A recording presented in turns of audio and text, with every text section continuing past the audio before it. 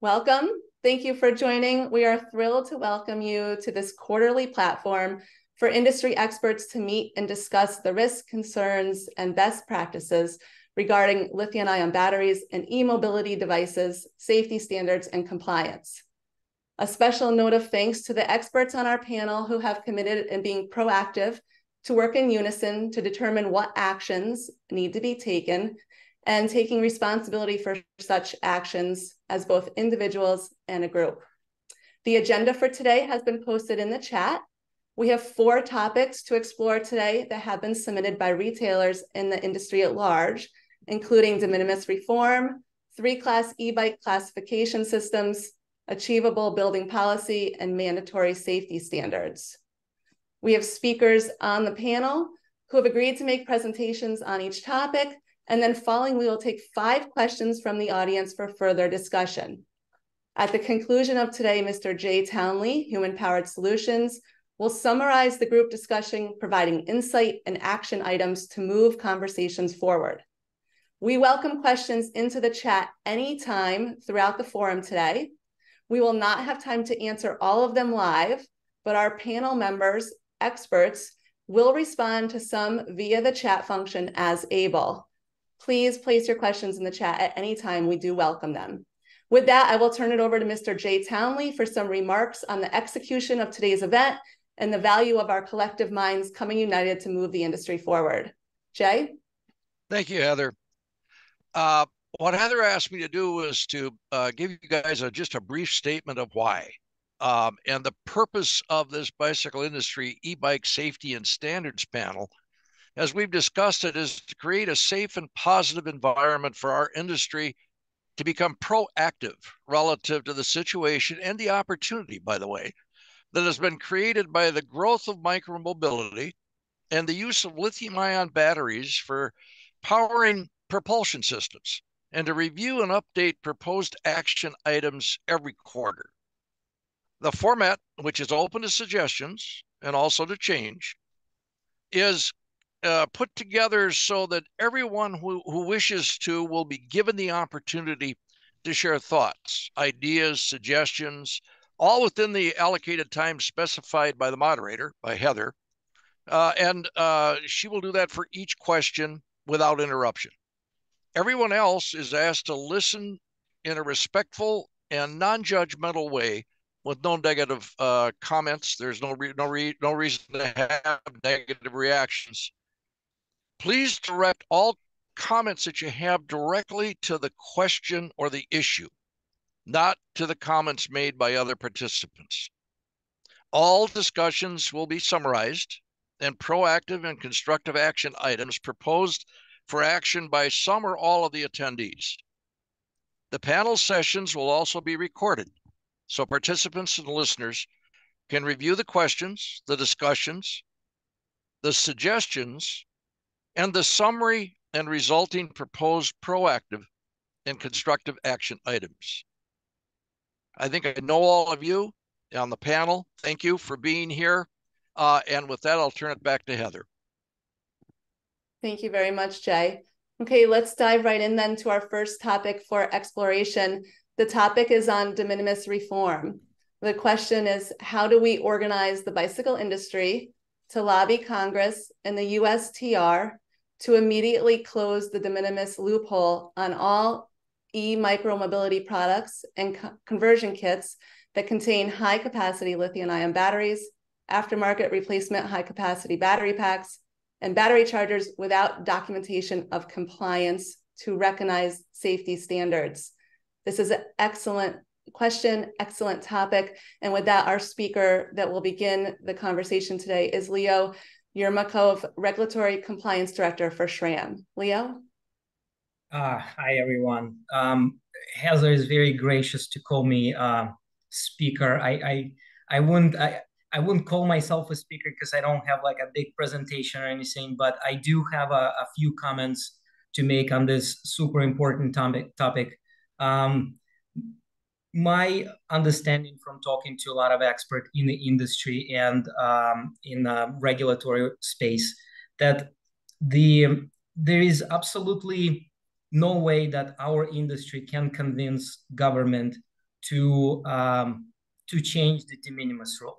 We are too small comparing to the opposition, and the opposition includes uh, significantly larger and stronger corporations that been um, lobbying government to make sure that we don't just keep the de minimis but actually increase it. Um, the the uh, way I hope this goes, based on you know the the fire issues in New York and some other places around the country and around the world, is that somebody will listen to the industry and allow us to not have de minimis for dangerous goods.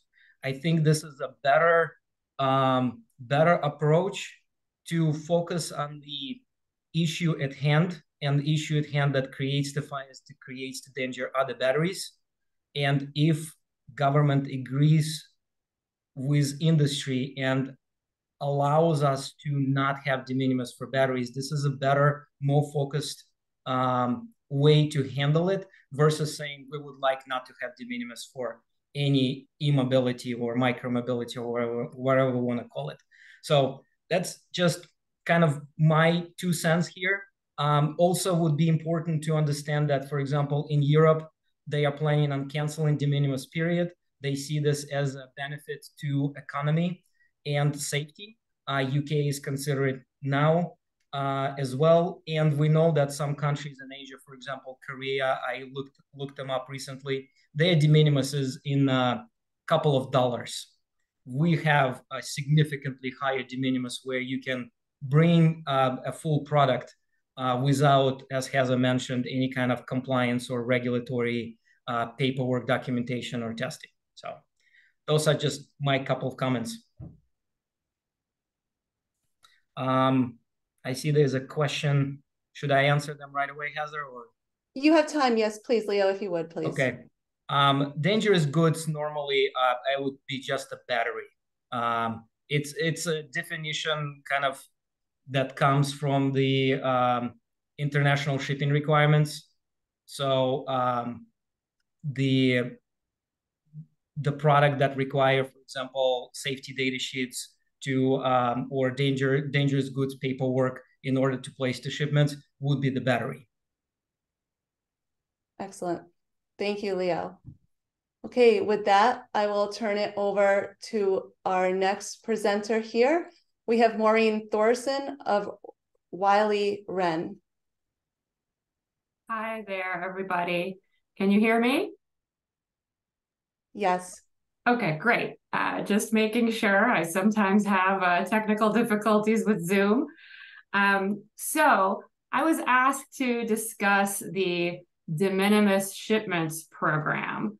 So not sure how many of you guys are totally familiar with this, but uh, there's a federal statute, 19 USC 1321C, that authorizes customs to allow goods to come into the United States without any formal duty payment or formal customs entry procedures, so long as it's one package per importer per day, valued at $800 or less.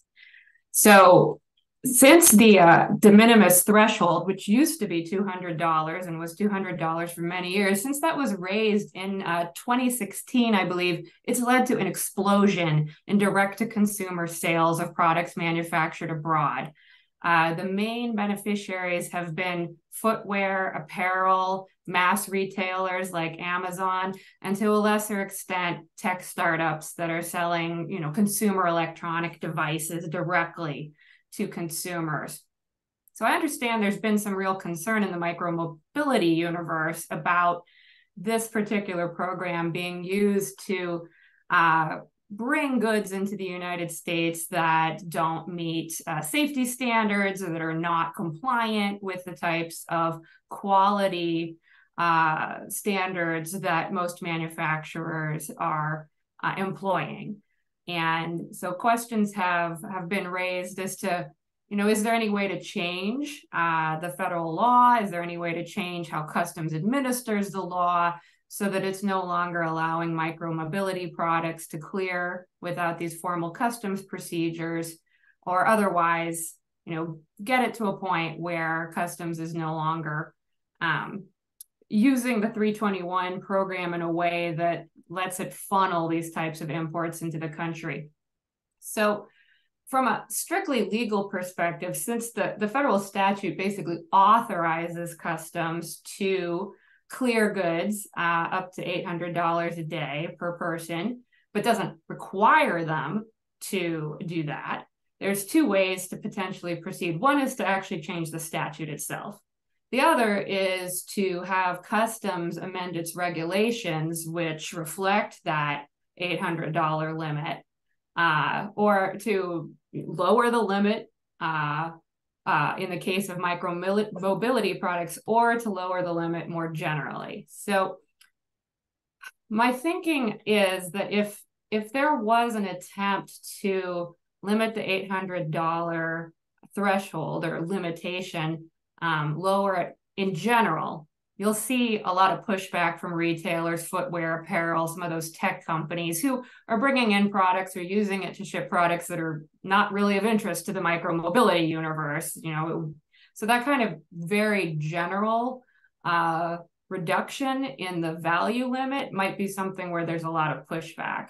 There'd probably be less pushback if the changes were limited to micromobility products, though it's, you know, I wouldn't say there would be no pushback if there was uh, an effort to try and get the statute changed or customs regulations or customs interpretation of those regulations changed in such a way as to remove micromobility products from the ambit of the current $800 a day limit uh, and that might be because uh, folks that are not shipping micro mobility products look at it as the opening salvo in some more general effort to lower uh, the duty limit or the value limit or otherwise reduce the applicability of the de minimis shipments program.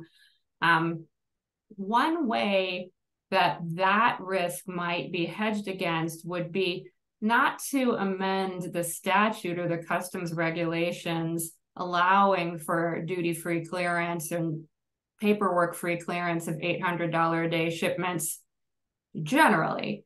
Uh, but push for some other statutory or regulatory change that takes micromobility products outside the scope of the program. So, one way of doing this might be, for example, to create some kind of affirmative import declaration obligation for micromobility products that requires formal entry clearance for those goods. So they just they fall outside of the scope of the 321 program, but not because that program has been directly changed, but because there's been a specific change affirmatively put in place to formally require something as to micromobility products.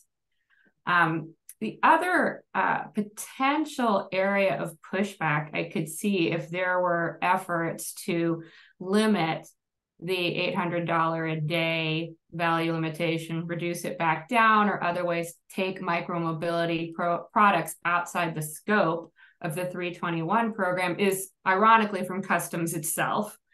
Uh, customs could uh, raise the point with lawmakers or other folks who are trying to push for the agency to take micromobility products outside the scope of the program that they don't really have a great way of distinguishing low value one-off shipments of these types of micromobility products from other goods that are already coming in under the 321 program.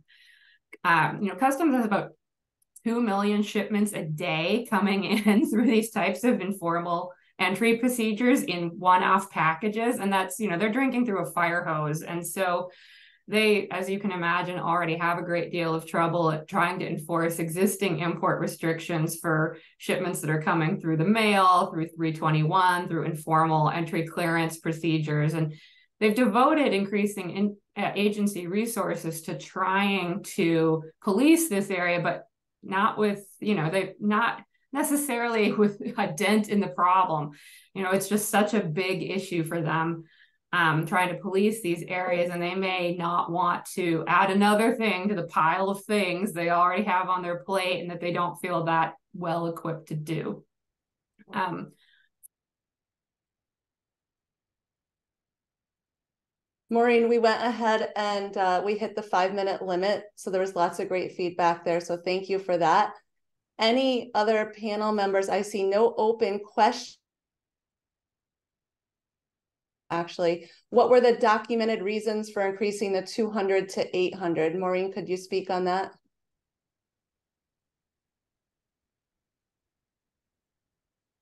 Sorry there. So, you know, I think it was just because there's so much more e-commerce. Uh, you know, retailers had been pushing for this, uh, companies that really wanted to do these types of direct to consumer sales. And customs itself wasn't averse to increasing the limit because having shipments clear with these low value shipments clear without formal entry processes, you know, so supposed to keep work down for customs, basically keep them from having to process formal entry paperwork for what are individually very low value shipments that are unlikely to have huge amounts of duty consequences. Uh, and, you know, so from customs perspective, it's one of those you shouldn't spend a dollar to chase down a penny kind of issues where they're, you know, spending a lot of agency resources on paperwork for one-off low value shipments, increasing the value is supposed to or should have cut down on that work for the agency. Thank you for your feedback there. Um, we do have a question about a list of uh, e-bike suppliers that are carrying product liability, which I will answer in the chat. Any other forum members wish to speak on de minimis or add anything to the conversation at this point?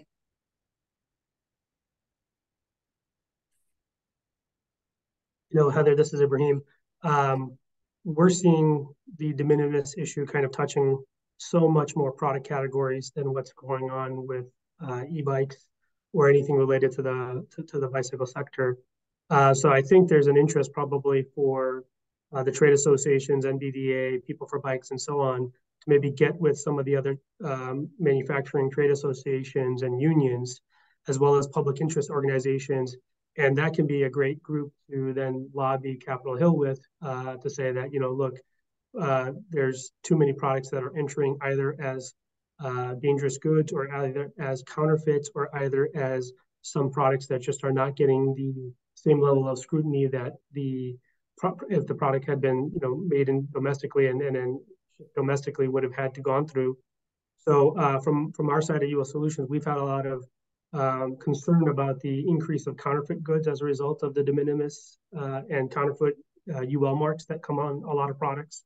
So we do think that it's uh, important that um, the industry is not just look within the framework of uh, e-bike or uh, bicycle industry, but uh, look beyond that and see that there's a common denominator happening for a lot of manufactured goods. Excellent. Thank you for adding that. And I know you had a presentation. Is there anything else outside of that scope that you wanted to add there, Ibrahim, because you were speaker number three? That's everything at this No, no, I didn't have any presentation content, no. Okay. Anyone else on the panel, uh, any other experts wish to speak on this subject? Hey, Heather. Mm-hmm. Hi, Jeff. Jeff from Trek. I would just suggest to um, the age-old uh, solution of writing your representatives and getting everybody that you know to write your representatives. Um, it doesn't always induce a lot of action, but an individual letter does count to the lawmakers that could make the changes. So um, always a good option if, if you got the time to write those letters. It's an excellent suggestion. Any other insight from panel members to add to this? Okay, then I know Jay, you're taking notes to summarize the conversation. At the conclusion, we'll go to topic exploration number two then. Again, if you're listening, uh, please feel free to put any questions into the chat for the panel members. Uh, the second topic of exploration is around the three bike, three class e-bike classification system in place uh, that's in, in place in most states and questions if it's still relevant and best practice. The question goes on to with the proliferation of motorized vehicles that fall outside of the three classes, yet are marketed and sold as e-bikes, frequently with an incorrect or misleading classification number applied, would it make sense to evolve the model legislation by further defining the classes, excluding certain characteristics from allowing a product to be included in one of the three classes or by some other means that clarifies what an e-bike is versus a motorized vehicle. it's a great question, uh, and I will turn it over to speaker number one, Leo, uh, Regulatory Compliance Director of SRAM, once again. Thank you, Leo. Okay, um, this is another fantastic question um, for uh, those of us who are global manufacturers and uh, design and uh, deliver products to um, um global market. We see the difference in um, in uh, interpretation of the classes. Uh, so the easiest comparison, obviously, what's been um, used in Europe, uh, Pedelecs and Speed Pedelecs, for example, versus the three classes in the United States. Both systems definitely have uh, flaws um, and could be improved. Um, my opinion on the three-class system in United States is that um, we definitely need a better way uh, defining, for example, something like a power limit when the the statement says is 750 watts. It's it's not clear what it is or how it's measured. Um, is that average? Is that maximum? Um, and um, to me, uh, and I'm sure many of you have been on the trails and see what's what's uh, people are, what people are riding. Um, there's a more e-bikes that I see on the trails, whether paved or unpaved, um, that are definitely not in compliance um, with how these things are defined. Um, the I, I notice people going really, really fast, definitely significantly faster than the, the, the, the defined speed limit, and they also do not pedal. That means they're using a throttle, um, and um, it's it's just simply not defined in uh, in the in the class three system. Um, to me, definitely requalifying or specifying the, the the the classes better will help, but I also see this is not going to address the issue. There's got to be some level of enforcement um, by authorities um, of how the um, how how do we police this, right? How do we how do we um, make sure that those um, systems that are simply dangerous are not going to end up on the trails?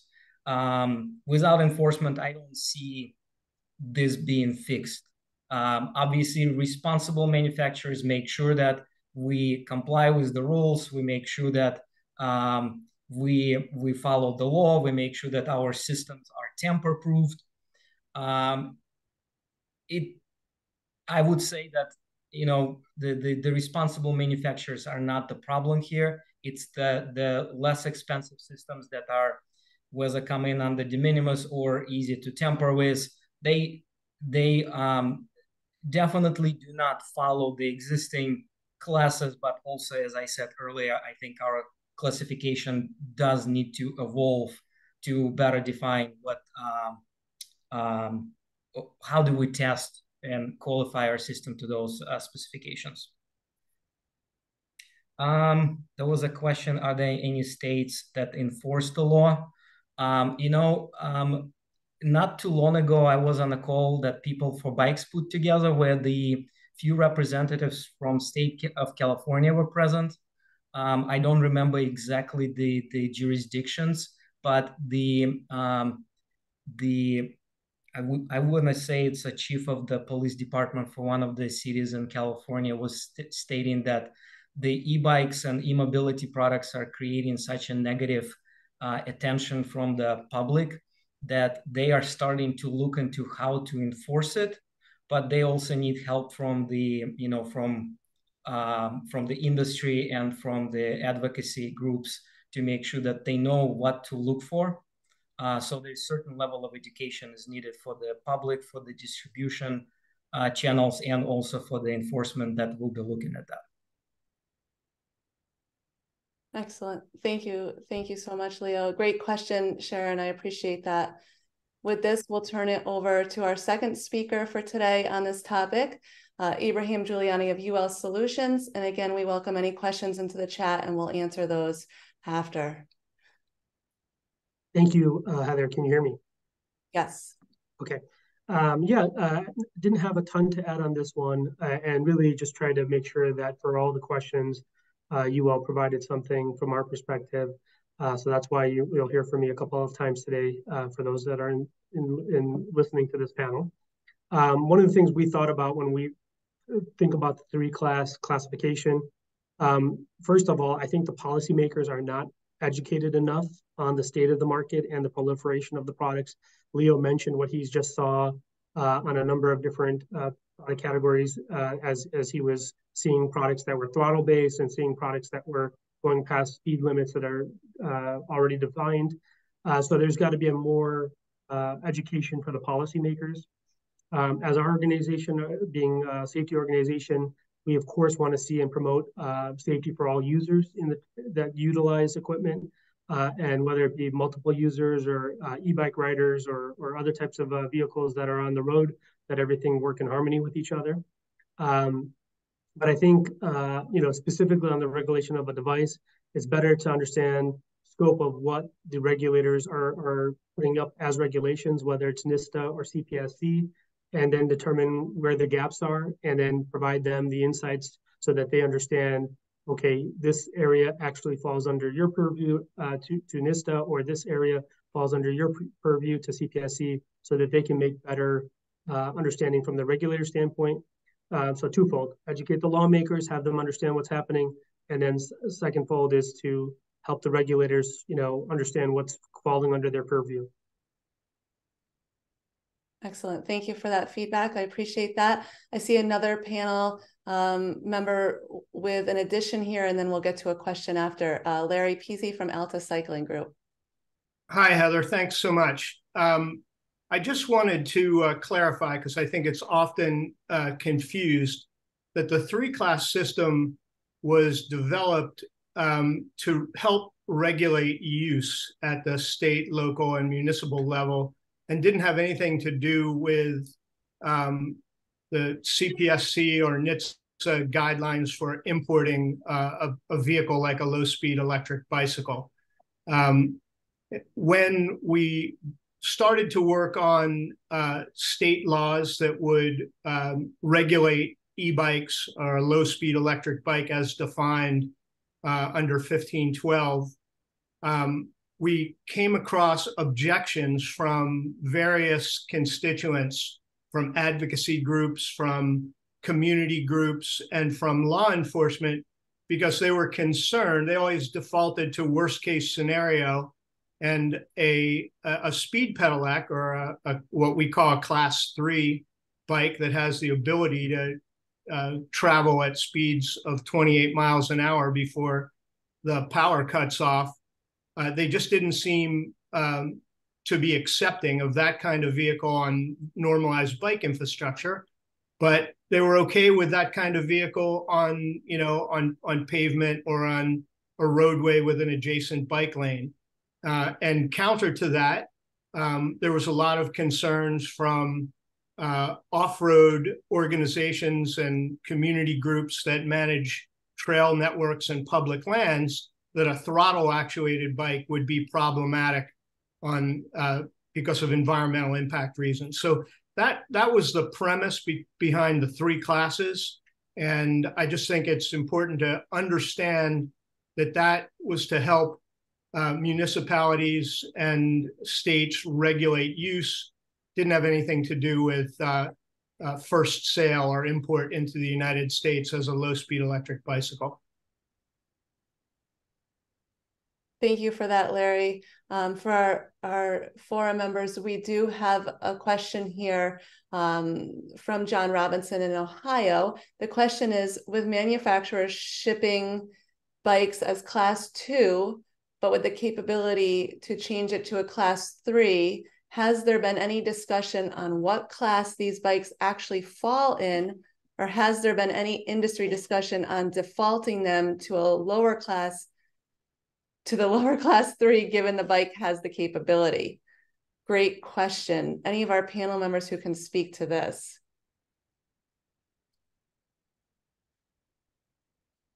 Uh, Larry, I see your hand up again, so uh, we'll just go right back to you. Thank you.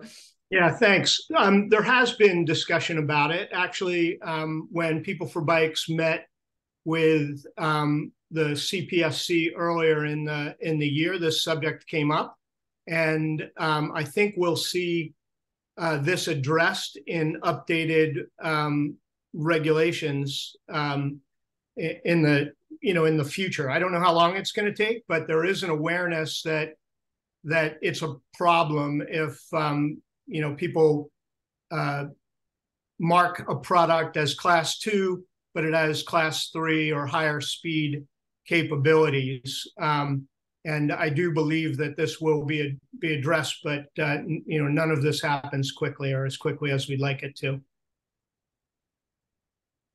Excellent. And I appreciate the quick response from our panel members. It's very hard sometimes to get a question on the spot like this. Um, we had another question come in uh, relating to the legal age to ride an e-bike, specifically in Florida. Um, but I, I think, could anyone speak to the legal age to ride an e-bike class one to three? Anyone on the panel member have that, any panel member have that knowledge right at your fingertips? I'll know I appreciate the work that people of bikes, uh, people for bikes have done recently with the uh, education for consumers on e-bike safety, and we can put a link to that in the chat as well. Any other questions or feedback from our panel members or from our attendees on this topic? Excellent. Okay, let's move to uh, our third topic of exploration, uh, specifically saving time for the next two topics our third and fourth today. As I we have met multiple speakers. This one is around commercial and multifamily building owners and management companies, at least in New York City, trying to figure out how to address the issue of e-bikes. Not all e-bikes or other e-mobility devices have the same risk profile and the manner of use charging impacts that risk profile. Not all building owners know the nuisances of the issue. And in the absence of clear guidance on what is good and achievable building policy for e-bikes, uh, some are simply banning e-mobility altogether. What organizations or entities are best positioned to help building owners know what to do uh, to disseminate this information? And what can the bicycle industry do to provide information and support to municipalities fantastic questions that we, we would love to see the e-bike uh, side of our industry continue to thrive this topic was presented by Dawn Miller from New York City Hall. And Dawn, I'll have you just kind of introduce the topic a little bit more, if you would, and share some additional resource to get the conversation going. Sure. Thanks very much. And thanks for having us at this event. Um, I'm actually joined um, in our participants um, by colleagues from our Department of Transportation, our Economic Development Corporation, our fire department. Um, it's a really big focus um, for a lot of us across New York City government and um, and you know we're we're supportive of the growth of electric micromobility. New York City is a fabulous place for people to get around this way. Um, but one of the the troubling things we're seeing is um, is buildings that don't know what to do, don't see a model they should look for, something that seems possible for them, and so trying to err on the side of caution, they just might ban it altogether, um, which isn't an outcome that we want.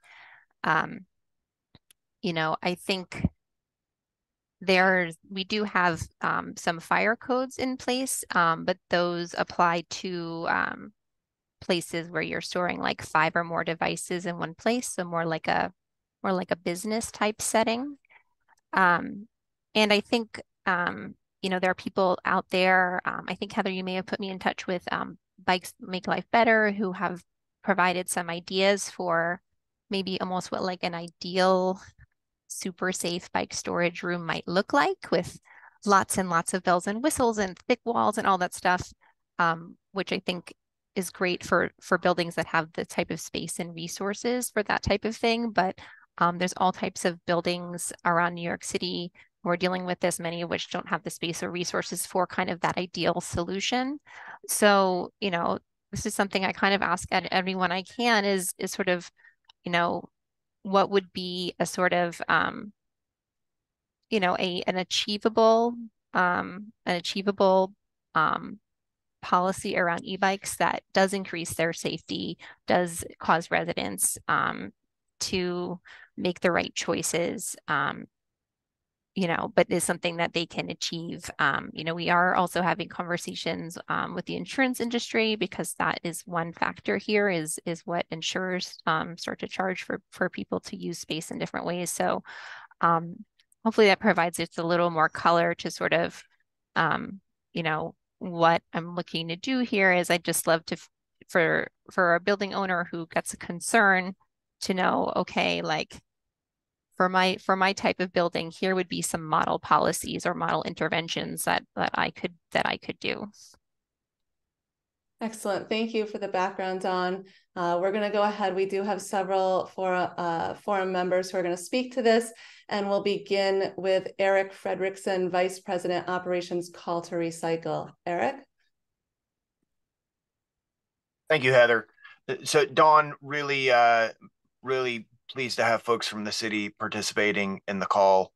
Um, I, I, think that New York is dealing and struggling with this topic specifically um, more so than than many other municipalities. The the infrastructure associated, the infrastructure in New York, and and the um, just the build of the city make it such that it that e-bikes are a really fantastic way to for residents to get around um, as there are a number of folks, including the Equitable, Equitable Ride Project, um, are quick to say um, bicycles and in particular e-bikes are not just a they're not just about riding on trails and they're they're not fun. It's a it's a it's a means of social mobility and a way for people to have access to jobs and a way to get to jobs.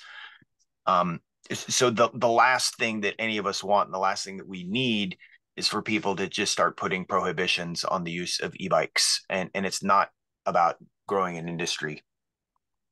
Um the fire codes are probably our, our comment on this is the fire codes are probably the most nimble way for local jurisdictions to make changes to the behavior that impacts the specific needs of their area um, we've talked some about federal regulations in the CPSC, which is oftentimes a multi-year regulatory cycle.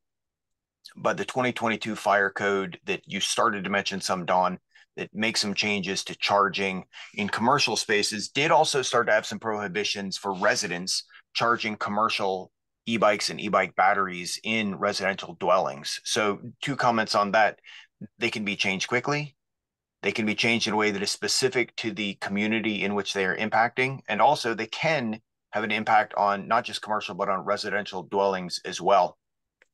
One of the things that we're challenged with is that as quickly as the problems are evolving, the answers are evolving as well.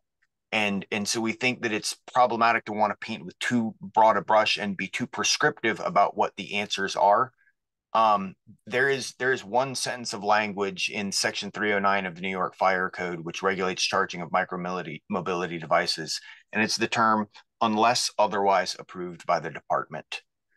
And we think that there's a lot of ability for New York City in particular to be nimble, but other jurisdictions and, and cities that are impacted by language like that, unless otherwise approved by the department, there are um, there are well-established processes for seeking um, departmental level approval through the Technical Management Office of FDNY to get approval for installations of specific pieces of equipment that meet specific needs. And the need of a consumer charging a battery in their residence is very different from the need of a building owner who has a room with a lot of batteries being charged in it. And both of those are problems that need to be addressed. We're really going to keep everybody safe. I think we're at 14 deaths in New York City just this year so, you know, while you know, I'm a member of the technical committee for UL and we're working on a battery charging solutions, but that's that's a consensus process that takes quite a while and it may not serve the specific needs that, of every user in the community. And so I would really encourage local jurisdictions to take control through fire codes um, in ways that allow for flexibility of solutions. And, and as I said, having established pathways for getting department level approval for engineered solutions they can meet the needs whether it's one person charging a, a battery in a in a sleeve in or a box or whatever type of solution somebody builds all the way through to something with 50 e-bike batteries charging all next to each other one of the things that i do want to mention is kind of a problematic caveat to it though is I see solutions online advertised as safe charging solutions, and most of the people on this call have burned e batteries, including e-bike batteries. There is not a $20 solution on the market that is physically capable of containing the thermal energy from a burning e-bike battery. And so I think that there is needs there aren't there is a need for standards in the intermediate and long term um, because there are so many products on the market that just cannot possibly do what they purport to do. Um, but it, I think it's through fire codes and through those pathways to say, here's the problem, go engineer a solution, demonstrate that it works. And then insurers and building owners can start to obligate things that have approval by the department. Excellent. Thank you so much, Eric. That was a very thorough uh, analysis and presentation and really appreciate your insight there. Uh, we'll have a, we're going to keep it going. Our next presenter on this topic, um, Leo, uh, was director of SRAM. Uh, once again, will comment here as well. Leo? Um, I am very much in agreement with what Eric just said. Um, it's, it's a very complex issue. Um, and um, we at SRAM did a global research of what's available in what country in terms of the um, safe uh, battery uh, charging and bike charging. And I can tell you that um, USA is not the only country that does not have good direction here. Uh, of course, we can look at the fire codes and all of that, but it becomes complicated in uh, older buildings, in uh, you know tight spaces. Um, the what I am seeing in um, in Europe and Australia, for example, is that insurance companies are stepping up and creating uh, requirements, especially for old buildings and historic buildings. Um, it's not across the board. It's not. Um, it's not really. Um, um, I would say repeatable because it's kind of unique to each situation, but it's definitely the uh, the driving force at the moment. Um, the the other thing that we also noticed um, when we would let's say rebuild the the new office or create a new building for ourselves is that the local fire departments really really get interested in what's being done in terms of storing batteries and preparing the e-bike charging stations. Um, so again, insurance companies and the local fire departments, fire chiefs were the organizations that we would rely on to give us the guidelines uh, whether we are doing the right thing ourselves and what we're advising, let's say, our customers to do. Um, the the question of what starts the batteries or what causes the battery fires that Dawn kind of elaborated on uh, in the beginning to open this discussion. This is really complex, charged, and political. Um, I, I, hear a lot of different um, interpretations of what happens, and I, I don't think it's good for this particular panel to go into really technical conversation of what can cause the battery fire and and how it how it happens. But um, to me, I think it's it's a it's important for us as an industry to solve and make sure that we don't see the the statistics, the negative statistics that we see in New York. Excellent. Thank you, Leo, for your expertise and for speaking on all of our four topics today. I really do appreciate that. Uh, we'll continue this conversation and uh, turn it over to Ibrahim Jilani of UL Solutions, who will present as well. Yeah, I just want to this is a topic probably the most uh, at the heart of what I wanted to talk about for this um, panel.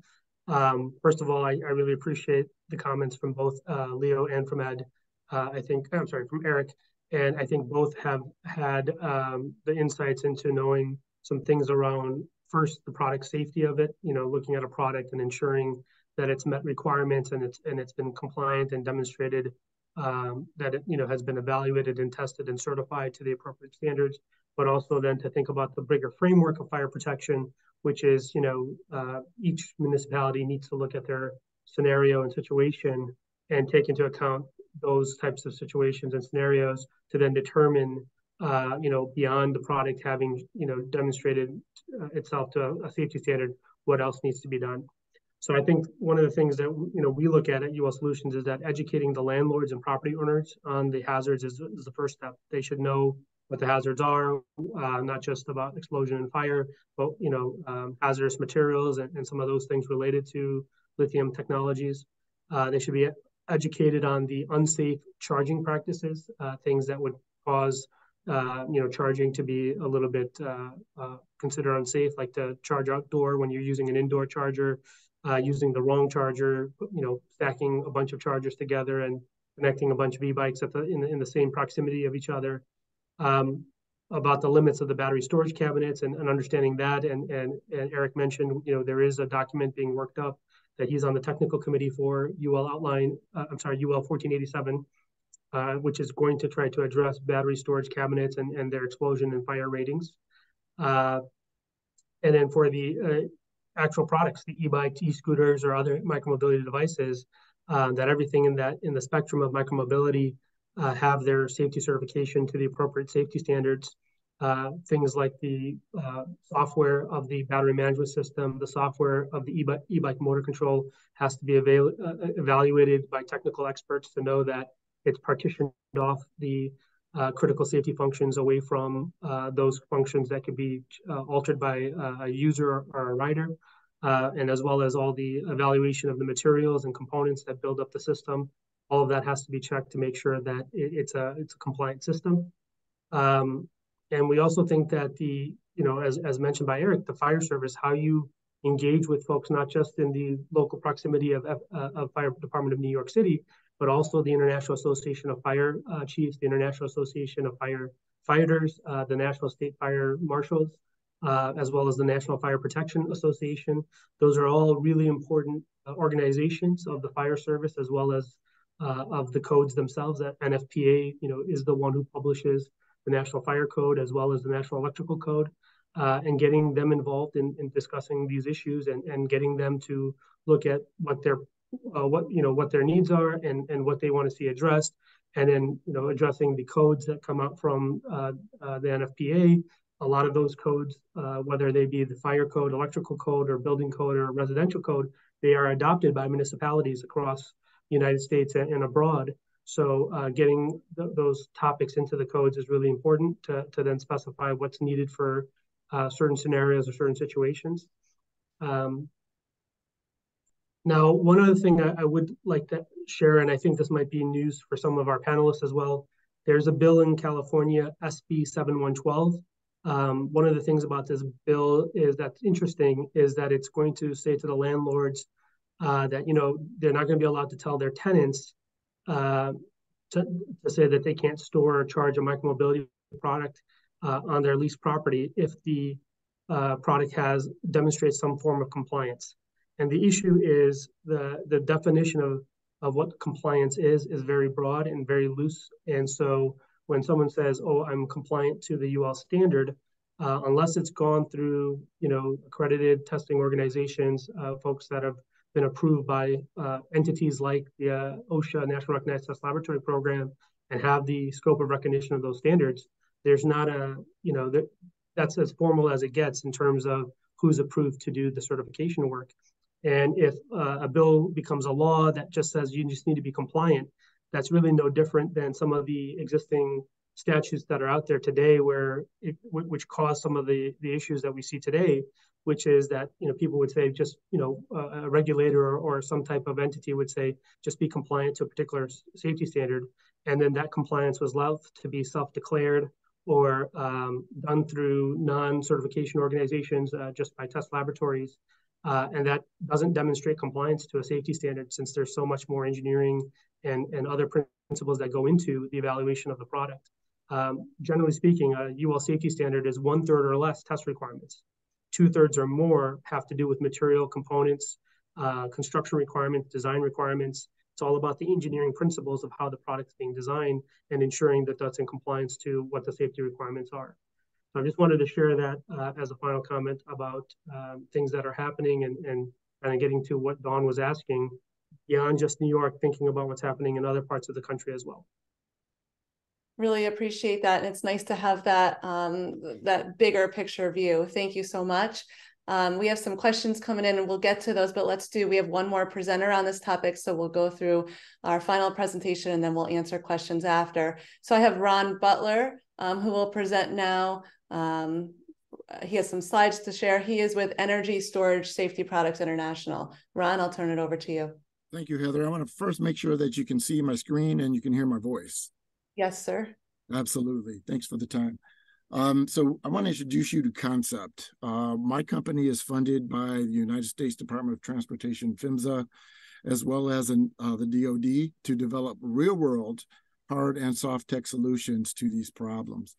So we've morphed into an organization that is designing and developing uh, uh, on the basis of research uh, solutions for the battery fire issues.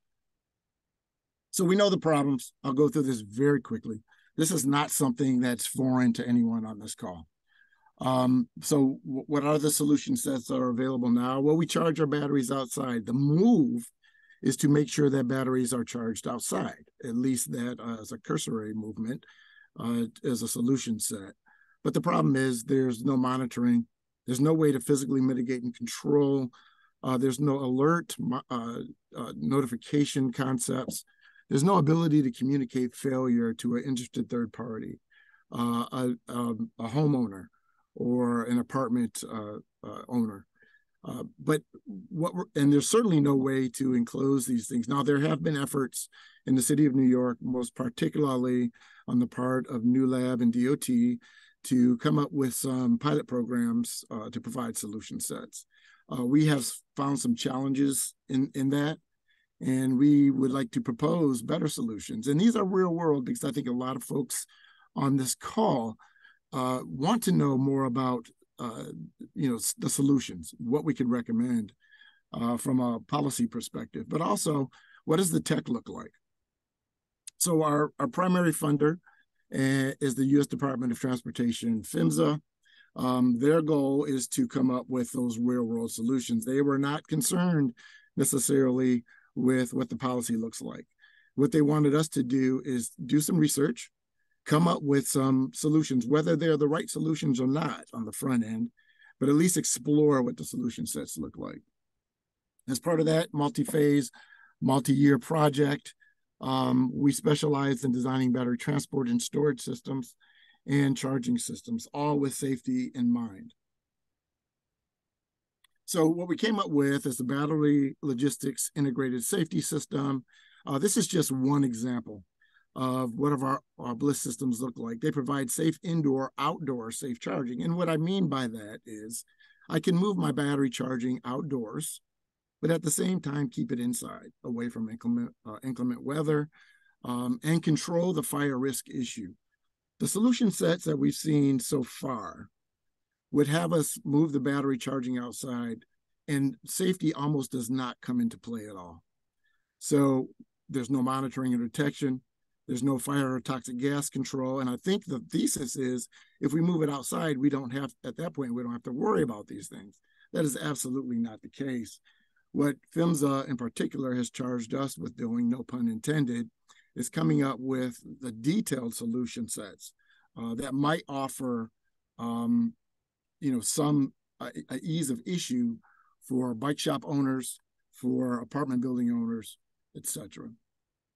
So why do we do it, and what is the value proposition? Um, we want to reduce risk, of course, but that does not just mean moving it outside. Um, what other uh, components can we add to a systems approach that allows us to not only do that, to move it outside of a building, but also offer something to the people we attempt to serve. For example, a bike shop owner.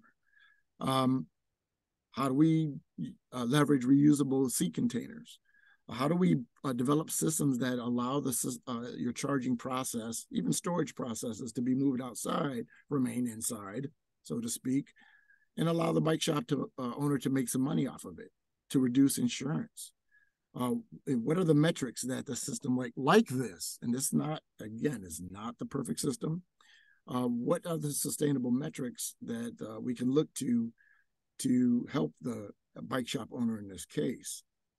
Uh, we can do charging, we can do battery recycling, we can include a swapping center. Um, what do we get out of this? We get 24 7 monitoring, we get toxic gas control, venting, fire suppression systems, detection, notification, and the ability to move all of this again outside. So I wanted to show you some of the renderings of one of our systems that's under construction right now. This is part of the system that represents uh, charging lockers. Uh, Eric brought up some some things that are very important. Uh, these have to be vetted. These have to be tested. Uh, these have to be built uh, for a specific environment. Removable batteries in this case, or rack charging. And again, what we want to do is give you a visual representation for those who are seeking that of what something a solution set might look like. So what we can do is take these and they're completely mobile, drop them down in a cityscape in New York City, for example. Uh, we are already doing a pilot, uh, moving towards a pilot in the city of Detroit with the Detroit Fire Department and some funders here, uh, which represents a reasonable platform to do some of this test and demonstration. But this is what one might look like. Completely movable, I can drop in place, and uh, it can be used in front of a business in a parking lot, what have you. Additional renderings of what this might look like. What you're seeing in this picture here, if you can see my cursor, is a battery drop off for recycling. And again, all of these are tied into safety systems from venting, pressure relief, fire suppression, and communications technology. So um, the way we look at this is is pretty straightforward. Um, it's uh, uh, multi-pilot projects should be jumping off in New York City, Detroit, and hopefully Seattle. We're waiting for them to come on board. We are inviting some pilot partners. If anyone on this call is interested in working with us, we would love to have you to talk more about it and potentially uh, jump off a pilot in your city. Um, quick and to the point. Of course, I stand by for questions and support. And uh, there's my contact information. Feel free to reach out to me at any time. Excellent. Thank you so much, Ron. Uh, love to see the images and the share of the work you're doing. Uh, I'm going to turn it over now. We had a couple questions that came in. Uh, we have a question here that says, I hear battery cabinets mentioned for bike shops to help mitigate potential risks. Is anyone discussing fire resistance battery bags as an option? Can anyone on our panel member of experts address this question? I think Eric brought that up earlier. I they're available. I I'm not a big fan. I you know there are better solutions. I think not only available today, but certainly those that are coming to fore. Um, but I you know I'm just not a big fan of them. That's Thank personal. you, Rob. Uh, Eric. I see yeah. your hand. Yeah, I um you, know, I, I this is a small community, and and a lot of us know each other and have, have worked with each other um, in a in a couple of different spaces. You know, I know I know Ron quite well, and while I'm not going to speak for him, my guess on why he's not a fan of them is that typically they don't work, and so you're you know and you, so what you're doing is you're taking something that is by by raw numbers a low likelihood outcome right? The, the the fires that we've seen it's not from a plurality of devices or from even a even a large percentage. It's from a fraction of a percent of devices. So what you're basically doing is you're saying this is probably not going to happen anyway.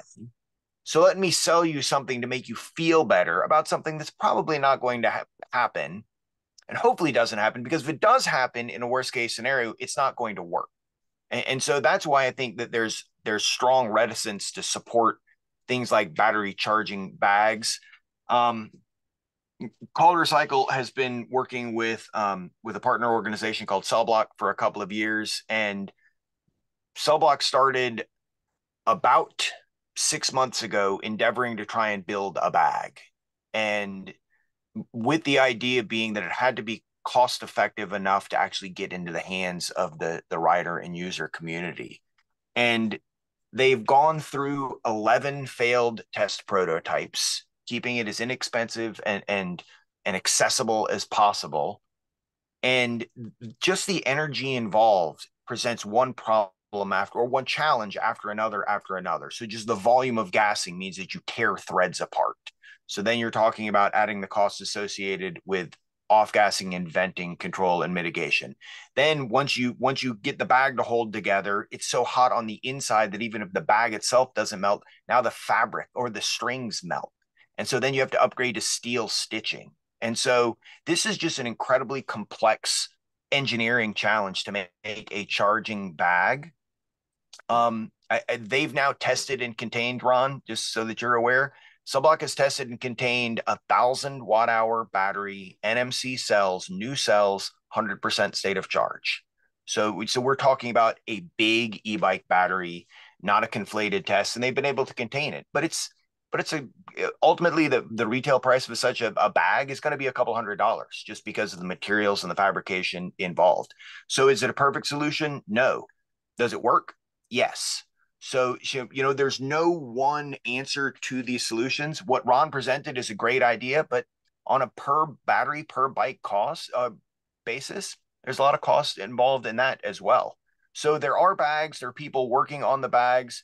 I, I would just, right now, there's, um, this is a buyer beware type of, of market when it comes to battery safety devices. And it's unreasonable to expect a consumer to burn a thousand dollar, six hundred, eight hundred dollar battery just to make sure that something works. Um, so there's definitely an opportunity for industry to to get behind products that that um, are peer reviewed and independently tested and are demonstrated to work. Excellent, thank you. Uh, Ron, did you have something to add there as well? Very quickly, I couldn't agree more with Eric. I always agree with Eric. He's always on point with these with these issues. Um, very quickly, this the what I propose is is um, is based largely on support from organizations like state, local, and federal governments. Um, they have to be invested. It's it's it's quantifiably unfair, and I will pick on the e-bike or the the bike industry. Uh, it's quantifiably unfair to make to put all of this weight on their shoulders um, there has to be participation and financial support from state, local, and federal organizations. And there, there is. I think there's a willingness to do so. Um, this has to be shared and uh, cannot be uh, a burden bear, borne only by uh, organizations like e-bike retailers. Excellent. Thank you, Ron. And, you know, we're discussing our third topic uh, of exploration, which is building policy, uh, also refers to retailers. And uh, we do have Brian Hawkins from Fixture Lab on the call, who I know has been working on this as well to advise retailers. Brian, would you add anything from a retailer stand, standpoint and what you're doing? Hello, everybody. It's great to be here. You can hear me, right? Yep. Okay, good. Um, I'm I don't know that I have that much to add at this point to the conversation, but I I have a very I'm very invested in the topic because we design all manner of retail stores all around the country, mostly in the outdoor categories, uh, lots and lots of bike shops. Um, and I wanted to offer myself up as a resource for this very valuable panel of people here because I know I've literally helped hundreds of bike shops around the country design their spaces.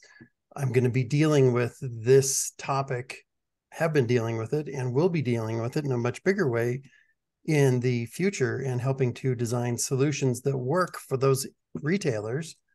I know the retailers very well. I know the limitations of the average and the not average stores all around the country I know how to support bike product in terms of fixturing and storage and how much room everything takes down to the inch. So I feel like I'm a good, valuable resource, and I would just like to let you guys know that I'm there, um, and I would love to participate. However, uh, anybody here would like participation from that kind of a perspective. Thank you, Ryan. And I see Ed Benjamin, uh, Light Electric Vehicles, has his hand up. Ed, did you have something to add?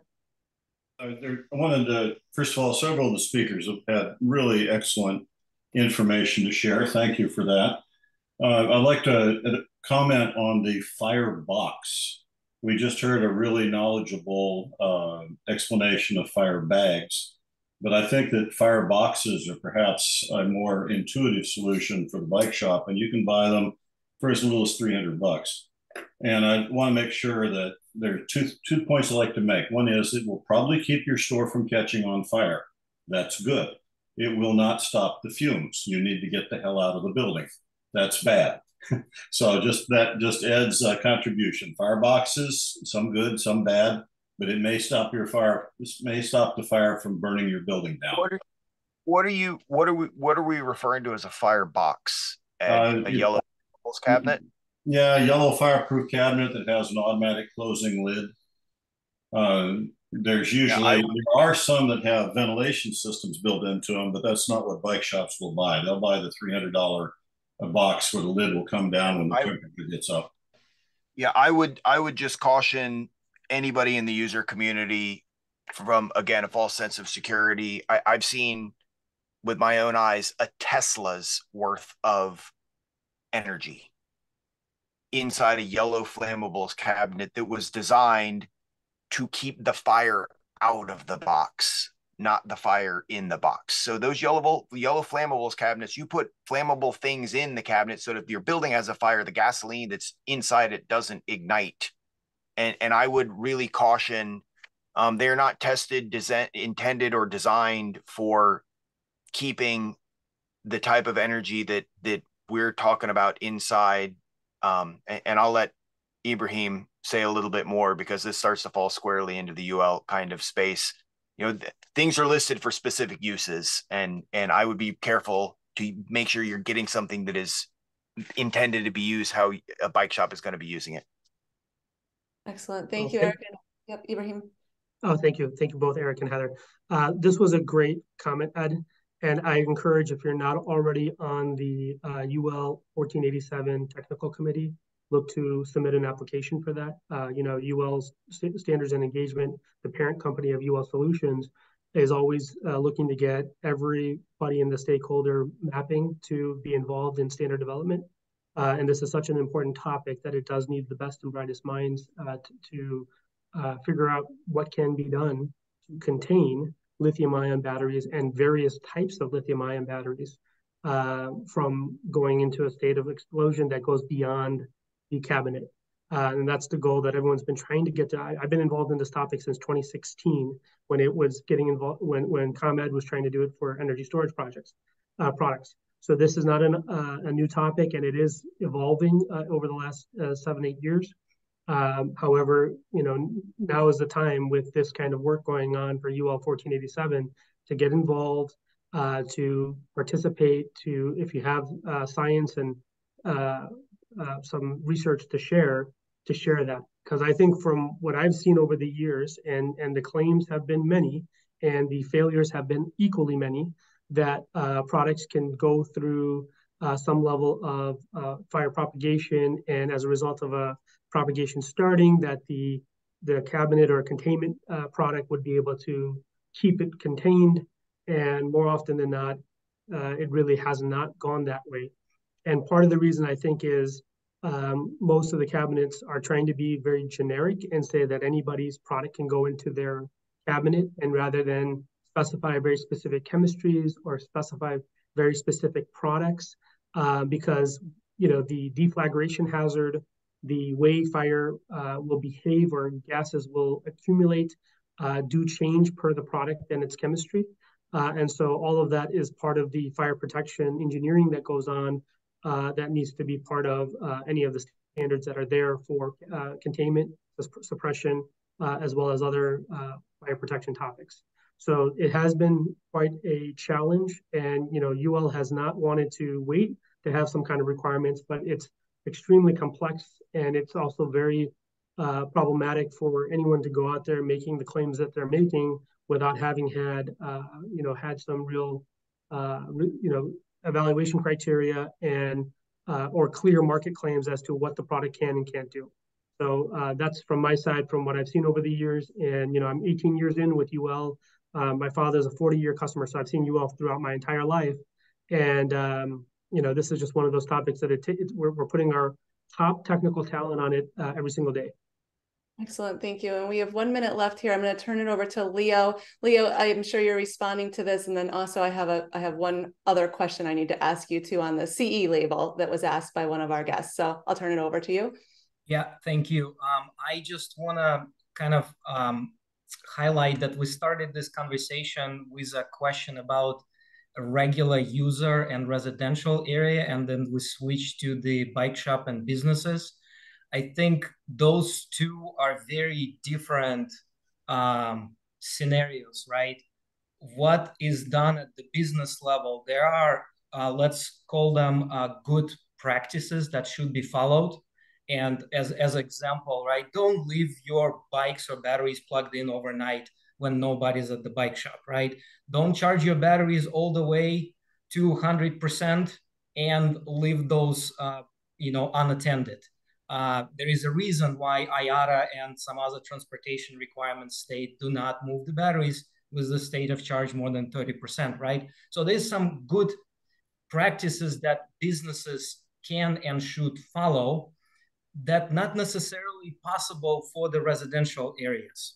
Um, so I think those are two very different questions that as an industry we should answer and need to answer. But I just wanted to highlight that, you know, we, we started one way and we finished the other way. Um, so um, it, it's obviously what we can do in the, in the bike shop and not charge the batteries all the way is not practical for the user who wants the bike to be charged overnight while they sleep so they can use it in the morning to go to work. Um, so the, the, the the situation are very different there. Um, and in terms of cabinets, I know there's a lot of expertise here.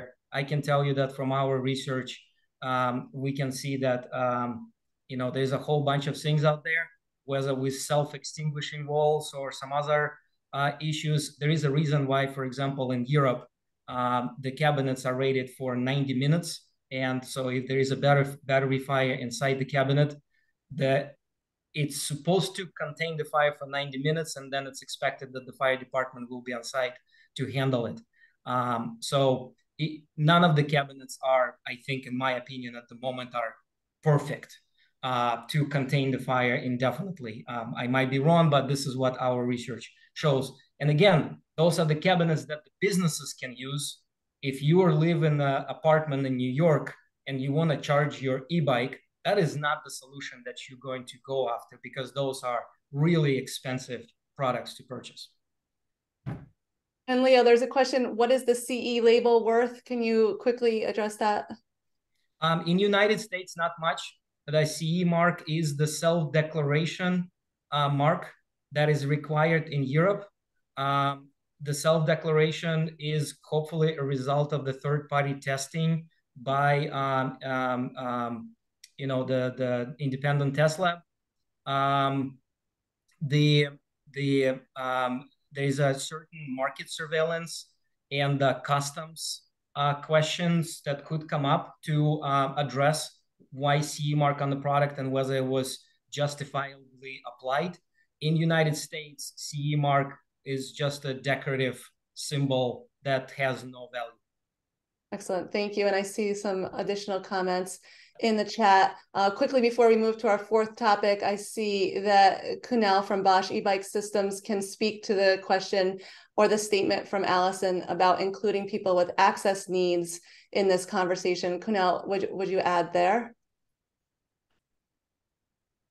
Uh, sorry, no, my comments were for CE label. I have no comments for the access needs topic. Excellent, thank you. I think it's a, a fantastic point to put out, Allison, and I appreciate that. Uh, with that, we will move to our fourth topic of exploration. I appreciate the great uh, content on that third topic. Uh, this one is uh, reads such as, my understanding is that without an act of Congress, the CPSC process for creating mandatory safety standards will take a long time. In light of that, what's the best way to accelerate safe and regulated devices in US markets and to prevent further uh, proliferation of uncertified devices? Um, some examples could be pushing for an act of Congress, pushing state and local. Uh, Dawn Miller, again from New York City Hall, is here. She presented this question, and I'll ask her just to uh, shed some more light on this. Sure. Thank you, Heather. Um, I think I think most people on this call know um, actually starting uh, on Saturday, New York City's um, local requirement that any device sold or rented in the city has to be um, tested by a lab, but uh, nationally recognized testing lab to be certified to the applicable UL standard. Um, of course, that is that is a step, but people can still um, buy devices in, in, New Jersey or elsewhere in New York State. Um, many of you probably participated in the CPSC hearing over the summer on this topic. Um, New York City's fire commissioner and, and her team were there as well. Um, what I'm hearing about that session is there was such consensus that we need um, we need the feds to really step up and create a national standard. Um, but then I was a little deflated to hear how long and hard that might be to get there. So I wanted to put that question to this brain trust is um, what's the best way to get to um, mandatory safety standards. Um, I'm sort of assuming most people here are in favor of that. That's something that we um, are in favor of in New York City. Um, so yeah, what's what's our what are our best tactics to to um, either get to mandatory safety standards or or really just stem the the tide of the devices. Um, the de minimis loophole seems like one method of getting at this. Um, so this is sort of another way of looking at it um, how do we how do we um, yeah create more certified devices in in the states and and keep out the the unsafe devices? Thanks.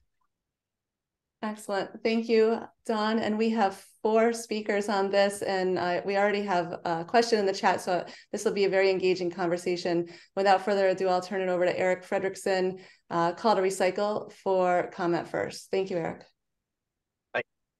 Thanks heather. And Dawn, an, another really important societal question to answer. I, I want to start by saying that the problem devices are not coming from the people the the manufacturers on this call and, and and i'm saying that as somebody who's not a product manufacturer but i i feel very confident in the the design and the the manufacturing standards of organizations like Alta and Trek and Shimano and others on this call. Bosch. The, the, these are not the bad actors that we're having to deal with, but we are collectively being tasked with helping to come up with the, the solutions for it. There's two different things that I think we need to address separately. The first is you can a, a rider, a user, a member of the community can take a good battery, a good drivetrain system, and do things to it so that it is now a problem. So uh, we we all collectively have a role to play, and that's something that um, that does start to fall on. You know, it's a public safety, but people need to learn and be educated on the fact that despite the fact that many things in the biking and riding world that you can take apart and tinker with and put back together and have them work just fine. That's not how e-bike systems work. And so we've seen a lot of problem behavior. I've talked to folks at FDNY who've engaged in problem, who've seen problem behavior, people swapping out cells, people Frankensteining bikes. I've seen you, you walk around in New York City and you see things that look like they came out of Mad Max and people are riding around on them and charging them in a multifamily dwelling. I don't know though when it becomes a, a problem such that there are seal and vacate orders listed at bad acting businesses that are doing things that are creating a public hazard. And I don't know at what point the city and other municipalities and jurisdictions have to get the collective will to make decisions that th- this is not a kerosene heater that you can't just take it from somebody and then put it into inventory in Randall Island and have somebody come and pick it back up and then start using it again. So there have to be some teeth to what people are doing bad behavior wise to keep to to when we're making good batteries into bad batteries. So I think it's important to acknowledge that that's a different issue from what gets solved by a de minimis, and it's a different issue that gets solved by a standard or by a label. Um, I, I think that the action that New York City has taken is a good first step. Um, but I think that we have a long way to go as far as um, ensuring that all of the products that are being sold meet those kinds of standards. Um, there's been some action that was taken in the with hoverboards, and there's precedent in other spaces, but it's a certain point there is a potential for a discussion of whether or not a retailer, a seller, or a reseller in a marketplace type of environment has some type of, of direct legal liability for selling something into the market that then becomes a public hazard. You know, this starts to become a, a, a legal question. Um, but at some point, the responsibility has to cascade away from the individual purchaser because it's unrealistic to say that you shouldn't buy something that appears to be legal to go out there and buy on a multi vendor marketplace. Thank you so much, Eric, for your comments. We'll continue this conversation. Uh, Leo, like Regulatory Compliance Director from SRAM, will chime in now. Um, Eric, thank you for uh, your uh, comment about responsible manufacturers on the call. I agree with that. And again, thank you. Um, Ibrahim probably would not like me um, assigning a dollar figure of how much it costs responsible manufacturer to take the battery through the certification, uh, proper certification, um, or e-bike certification for that matter. Uh, it's it's a substantial amount of money and a crazy amount of time from manufacturer uh, to to do that. Um, when I go on Amazon, and right now I'm in Germany, and I actually try to type in uh, to go on Amazon, and it takes me to the German website, and there are no batteries in Germany that are you know for 300 or whatever 400 dollars. Um, in the United States, it's very easy, and you can see that some of the batteries um, uh, come up from the same source, and there is like a 15 20 different variation of that battery from the same source different capacity different sizes different shapes.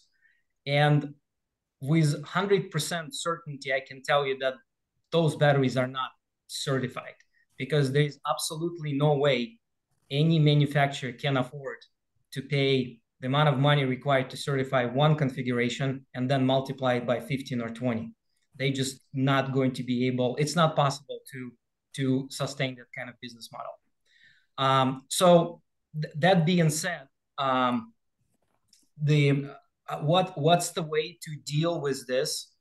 Um, uh, yes, I agree with Dawn that it was very deflating to hear from CPSC that they are not planning on doing anything on the federal level anytime soon, uh, if ever. Uh, they may try to do something, but um, it's going to take a long time. I can tell you that I already seen the the let's call it a buzz in the industry that the orders of e-bikes uh, to New York City are just not going to be fulfilled.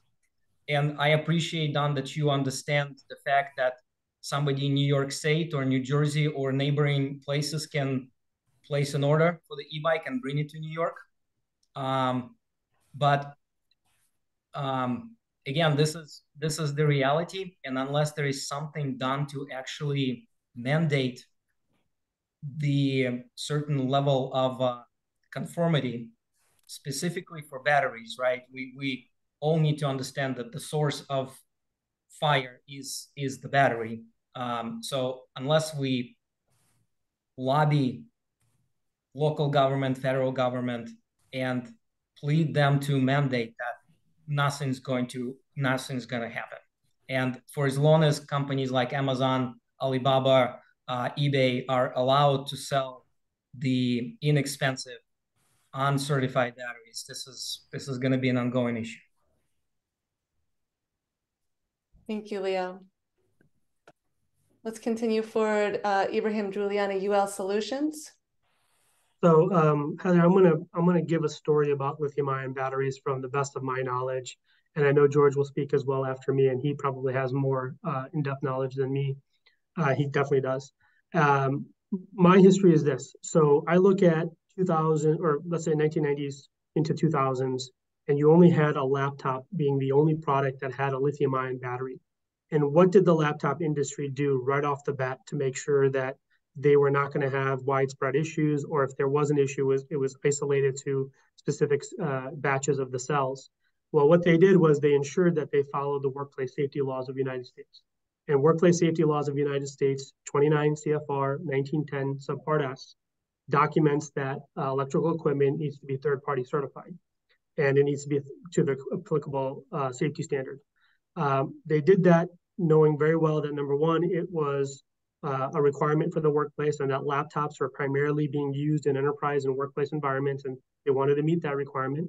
But they also understood uh, that the cells and then the end products that they're going into have to work as a system. So you have a cell that becomes a battery pack. That battery pack then goes into a host device. That host device then becomes part of a, a charge, uh, gets connected to a charger, and then everything becomes a system. Uh, so until today, you know, 20 plus years later, we're all working off great laptops that have lithium ion batteries, no issues. None of us ever think twice about uh, a laptop in our bag, uh, a tablet, and so on. From the laptop industry, then we started seeing other industries adopt lithium ion technologies power tools, uh, tablets, and, and uh, smartphones, um, and then a whole slew of smaller industries like e-vape equipment, power banks, and so on.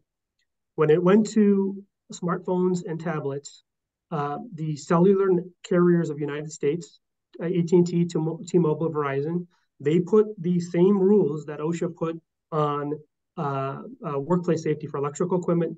They put those rules on the cell phones. And they said that if a cell phone is going to sell in the United States, it must have demonstrated system safety, the host device, the charger, the battery pack, the battery cell, even though it's a single cell battery pack. They said all of that has to be uh, third party evaluated, tested, and certified. You have to go through what they call a CTIA authorized test laboratory. Uh, those laboratories are run by the association directly. So, as an association, they have their own laboratory program and qualification program. Uh, you all as a member of that program, and then and we have to submit every year uh, our qualifications as why we can offer up the certification service. And that's how cell phones get on the market then is because they demonstrate uh, that they can do that. Power tool industry, because they're used in the workplace, they also recognize that, you know what, we need to follow the OSHA rules, and they did that. Now, fast forward into what we're dealing with with power banks, e-vape, and um, micromobility equipment. The only rule that really existed in those markets was the CPSC regulation. And CPSC regulation is non-existent. There has been no safety law ever from the Consumer Product Safety Commission or from lawmakers that said for consumer product safety, uh, dangerous good products like lithium ion battery operated products need to go through some uh, product evaluation, uh, testing, and certification like you would do in a workplace environment, like you would do in a in a cellular uh, phone environment. So I think the the gap, Dawn, that you know that New York City closed uh, was the appropriate one that others have demonstrated, trade associations as well as a federal regulator. And those examples should be brought forward in more, uh, you know, more ways uh, to, to the commission as well as to lawmakers. But outside of those two entities, which, like you said, may take a long time, uh, try to now get the national state uh, fire marshals, uh, state association of fire marshals, try to get the uh, international association, association of fire chiefs, international association of firefighters to, to sing in chorus with the FDNY and the New York City Council to say, okay, this is what we're expecting that lithium battery operated product, whether it be micromobility or all the way down to an earbud, have the same level of scrutiny that you would have on a workplace product or on as what you would have on a cell phone product that's sold into the US cellular network. And so those organizations would be the ones I think that could raise the awareness and also maybe set the uh, expectations in local municipalities to get the electrical inspectors, the building inspectors, and whoever is in a stakeholder capacity to, to look into this further while we see if any federal uh, uh, statutes would pass. Uh, we still have to do our part to educate that, you know, addressing product safety or addressing public safety can be done through product safety. Thank you so much for your comments, Ibrahim. This is a great topic. Uh, we have one more presenter today, um, George Kerchner, uh, the portable rechargeable uh, Battery Association will now present. Thank you, George. Hey, Heather, thanks very much. So just a point of, clarification, we are um, we dropped the word portable from our name. Um, that about 15 years ago, we're just known as PRBA, the Rechargeable Battery Association. So a lot of our members are in the large format space as well. So the if you're not familiar with PRBA, we've been around since 91 and we spend a lot of time uh, in the state legislative uh, area on battery collection and recycling legislation. And one thing that we've learned over the last 32 years is having a, a piece of model legislation that you can hand off to legislative staff who are looking into these into battery collection and recycling is really the way to go. We've our association is pretty diverse. We've got battery manufacturers, product manufacturers, battery recyclers, uh, battery retailers, airlines, etc. It's a very diverse association. So trying to get the industry um, to rally around a particular piece of legislation was was a lot of work, and we've been able to do that. So what we've done, again, we've moved from being more reactive to proactive in the legislative space. For example, Washington D.C., Washington State, and California over the last three years have passed battery EPR or battery collection and recycling legislation and we were at the table when that legislation was written. And we did that because we have a very strong network of, of folks in the industry who work with the NGOs who draft, who are interested in this EPR issue. And I, I think for this group, and I know it's a very diverse group, and there's a lot of different interests um, on this webinar here. But if you if you think about trying to get a piece of model legislation that we can all agree to, and I know that's going to be extremely difficult, um, but having that in your back pocket and being proactive on this. So, for example, if California, or we're certainly going to expect New York to come back with legislation next year, but if this industry could form a coalition of different interests and have that model legislation and have the industry behind it, um, will really go a long way to get good legislation passed at the state level. And I think that's probably one of the quickest ways to get this, you know, issue moving forward and getting safer products onto the market. You're absolutely right. The federal approach is going to take some time. I'm confident CPSC is committed to this. Um, Congress needs to pass the, the Schumer bill, and that will all probably happen, but it is going to take a while. But if you can get California, New York, Illinois, and you know Washington, Texas, whatever, you know, you get a half a dozen states that passes to pass this type of legislation, it by default is going to be a national standard. Um, and so I think that's the biggest challenge for this group here is to, you know, see if we can come together as a coalition and get that legislation written and get to the state houses and promote that. And it's going to be up to this group whether they want to be proactive and go not start knocking on doors in different states, or whether they want to um, react to proposed legislation that's being introduced. It's it's it's an area that I said you know we've spent a lot of time in, and over time, over the last I would say five years, our position has changed. We've become more proactive on the EPR issues. We've been successful in getting Washington D.C., Washington State, and California to have legislation, which are now laws, generally consistent in terms of what the, the legislation required for recycling efficiency rates, convenience standards, recycling uh, or collection rates, and outreach and education, and so forth, and the size of the batteries that are covered. So it's a work in progress. I realize this is a, a new group per se that's gotten together to address those issues, but I think that's something this group needs to think long and hard about. Um, and whether that's even achievable with the diverse interests that you've got here. So that's that's been our experience, and, and that's just my uh, suggestion to this group is maybe have a little subcommittee that could form that, develop that legislation um, that you can then walk up and start, you know, knocking on doors or offer to those staffers who know little or nothing about batteries or e-bikes and get to them before they put pen to paper. So that's that's really what I wanted to share with the group. So thanks, Heather. Appreciate the opportunity. Thank you, George. And I know that People for Bikes is doing some great work here. And the idea of this group coming together is to see if we can get aligned. Um, before I go to the questions, I see uh, Leo has his hand up, and I would welcome comment from any other panel members as well on this important topic. Leo, I'll turn it to you. Uh, thank you. Um, just a little anecdote here. Uh, when I was traveling back home from DC, and I live in Colorado, I was on the same airplane as a Colorado senator. Um, he, I, I told him that I appreciate all the work he's doing, and I just said that you know I will support him again in the next election. He said, obviously, thank you, and he started asking me why I'm in DC. So I told him about the reason I was in DC, and I said, by the way, um, this is a pretty serious issue.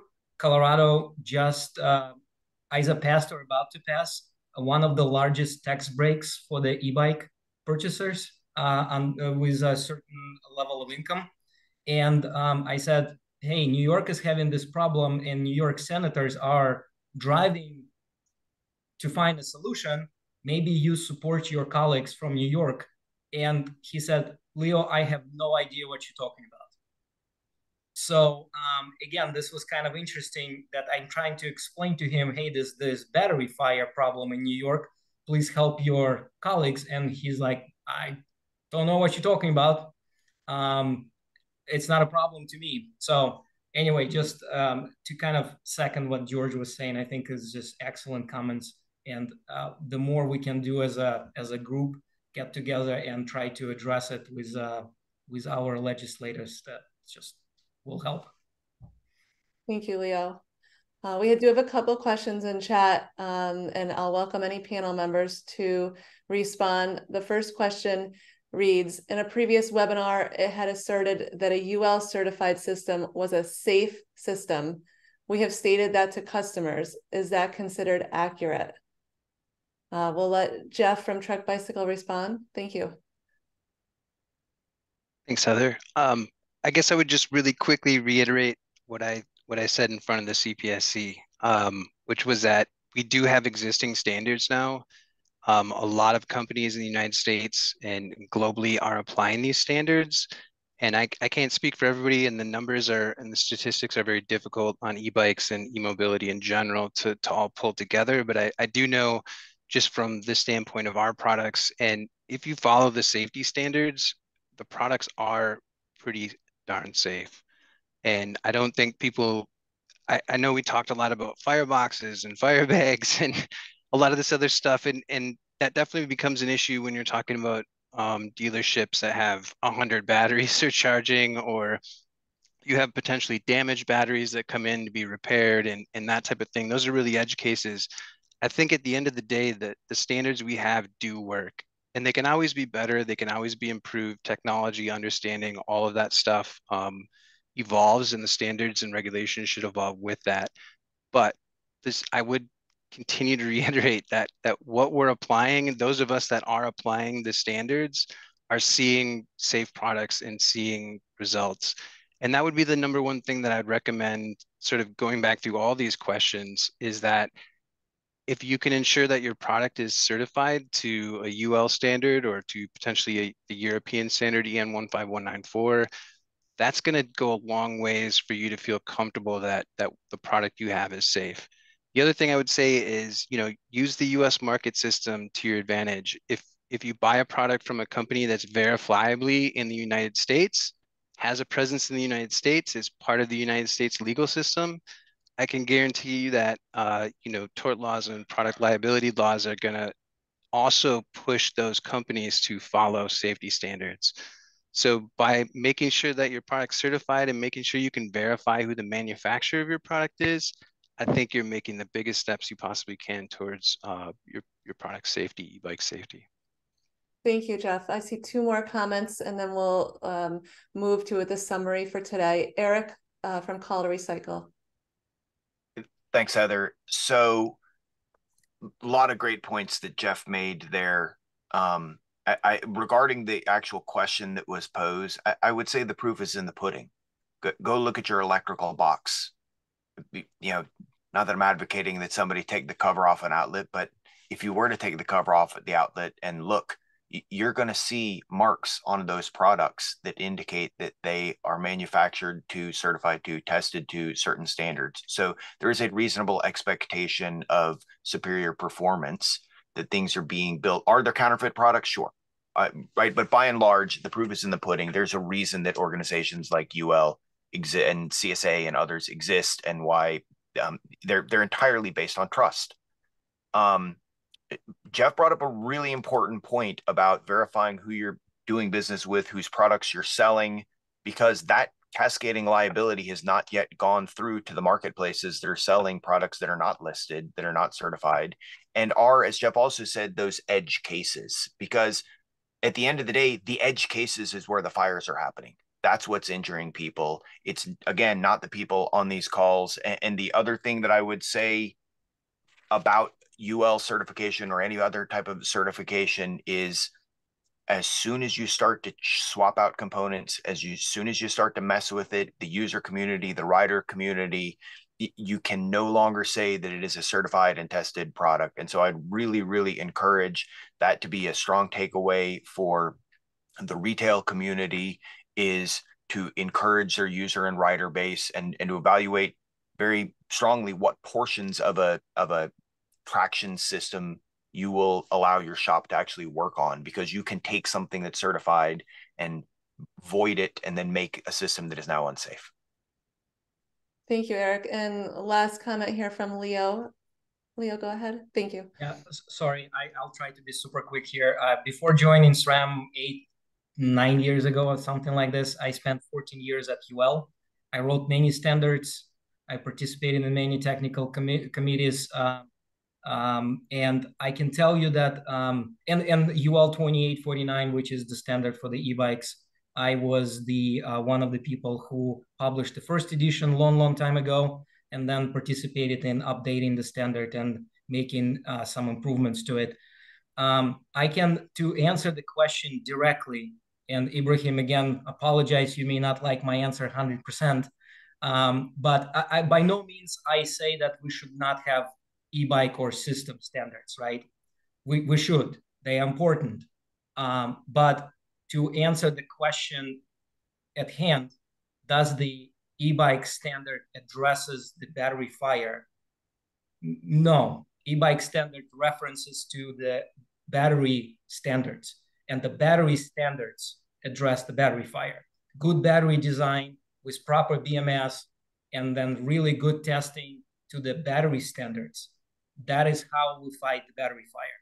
Now, again, by no means I'm saying we should not have the system standards. We should, because there's a whole bunch of other things at play that we should be addressing.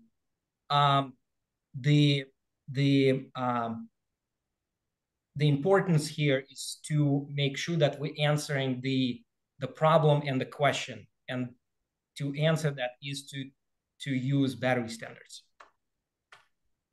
Excellent. Thank you. Um, Mike, we're really running short on time, but if you have a quick comment, I want to make sure you're allowed to, to throw it in there as well. It, it is a quick comment, Heather, and that's the fact that, you know, obviously the focus of the conversation has been on the batteries and the bikes and the systems and the integration and the testing and the certification, et cetera, et cetera, et cetera. But that's only one part of the issue. The other part of the uh, issue is is proper education to our customers and dealers. Uh, I tried to make this point before CPSC back in July, and that's the fact that uh, even the best battery pack in the whole world will fail under the right circumstances, and those right circumstances can be misuse and abuse of the battery pack, using the wrong chargers, trying to charge a damaged battery that that's otherwise been compromised and whatnot. But uh, we should applaud people for bikes in terms of developing a comprehensive user manual that uh, hopefully will be published and distributed soon. But the bottom line is, is education is a key part of this. I think we're seeing a bit of that uh, via the the news uh, that that comes out of New York City relative to the fires. I think people are beginning to have an appreciation that these battery packs must be properly maintained and used. So, but we as an industry need to make a concerted effort to train our users and our and our dealers to the fact that uh, you know this is a, a high energy storage medium and it is potentially dangerous if it's not properly uh, managed. So uh, that's got to be a big part of this effort to to make sure that uh, uh our systems are safe uh, in every dimension. Thank you very much, Mike. And thank you to everyone. This has been an excellent conversation, and I really appreciate everyone bringing your opinions together. Uh, I'm going to turn it over now to Jay Townley, who's been taking notes throughout who is going to offer up a summary of some of the conversations that we've explored on the four topics and how we miss, might uh, move as a group and as an industry forward. Jay. Thank you, Heather, and thank you to all the folks that have spoken uh, on the issues and also the folks that created the questions. First one up was de minimis. Um, and I think from the standpoint of the takeaway I've got from the conversation uh, is uh, exemption appears to be what uh, I heard from the law, law community and also from the lay people here. Uh, it's one that uh, Human Powered Solutions is familiar with, and also the NBDA because there is an exemption now. Uh, liquor, by the way, folks, is exempt from the de minimis uh, exemption. And so uh, it is possible to do that, but also uh, relative to being large or small, um, I'm a former registered lobbyist for one company in the bike business. I know it can be done from experience. I know things have changed, but uh, I do think that uh, we as an industry uh, need to begin to look together with what People for Bikes has already taken as a position and what we can do uh, to create uh, a, uh, if you will, a wave of support within the industry for the exemption approach. Let's get bicycles, e-bikes, and e-bike batteries, lithium-ion batteries out of the de minimis struggle that's going on. Uh, the fashion houses are behind a lot of this, and I know that um, what's been published lately is Shein is one um, of the entities that spent more than $800 million per month lobbying this issue. We can't meet that, but we can also get what we need across. So, what I'm getting from the, the summary and adding a little personal comment to it is uh, that uh, we need to make sure as a group that we uh, begin to support or bring support to what People for Bikes is already asking for, which is to exempt micromobility products, which seems to be a consensus. Um, I also agree, by the way, write those letters. Um, we can be very effective in talking to the local uh, representatives, members of the House of Representatives from our states that we know, the senators we know. Uh, write those cards and letters, um, and let's get our message across on the de minimis side. And I would suggest, Heather, that uh, perhaps we can start a circular letter for this group on that uh, subject and see what we can do to combine that with what's happening with people for bikes. Um, item number two, uh, the three class system. Um, I think that that uh, what I'm getting out of this uh, is a number of things, but education now will be a theme throughout the next three pieces. Uh, educating consumers, educating the trade, education all the way through the the process here because uh, I do think that it was pointed out that the three class system was developed by a trade association for use. And we also have to take into account that uh, it was not uh, intended for product. Now, for product, what I didn't hear mentioned in the conversation and should have been is there is a current definition of bicycle that is in the CPSC reg. It's part of 16 CFR uh, 4210.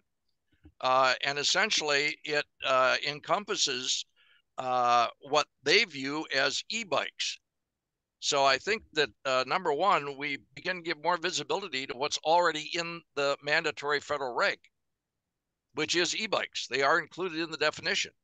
Uh, we could talk about you know how you regulate and all the, the needs for regulation separately, but simply the education about the fact that there is a definition for e-bikes that goes to the use side of the discussion um, and uh, then also turn our attention uh, to uh, how we apply that definition to our products. I think here again, uh, if we can make a statement as a group, then perhaps, uh, Heather, we could put together a policy statement relative to this issue um, and uh, circulate that to this panel in the course of the next month or so, so that we get to the next meeting uh, we've got some proactive agreement here on uh, both what needs to be done from the use standpoint and also from the product standpoint, starting with the fact that there is a federal definition. And then you've got, uh, and with Larry's the expert on this. We've got people and people for uh, people for bikes organization uh, that can certainly help us frame what are the use requirements that fall within the right now uh, the the three class definition. Number two, um, Dawn, I think we owe you at this point um, uh, a protocol, a set of protocols. From what I got out of the conversation, um, and uh, fully agree with what we wound into and, and where we ended up at the end. And that is we started out talking about multi-family dwellings and then uh, soon worked our way into bike shops. And the, the, the question here really is multiple uh, housing, apartment buildings, condominiums, the kinds of structures that they've got in the New Yorks, the, the Chicagos, the large cities. But uh, we, uh, at this point, as a group, uh, have not, to my knowledge, uh, provided a set of protocols, at least uh, to put together what would be the recommendations.